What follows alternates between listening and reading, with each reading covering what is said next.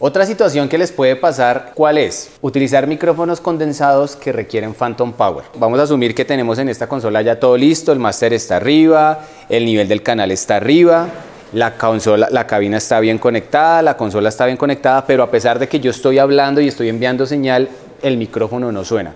Entonces, ¿qué necesitamos hacer? Activar el Phantom Power porque este micrófono o estos micrófonos condensados lo requieren. Recomendación para activar el Phantom Power antes de subir el máster. Entonces, se aseguran ustedes de eh, bajarlo o de mutear el canal donde esté conectado el micrófono condensado.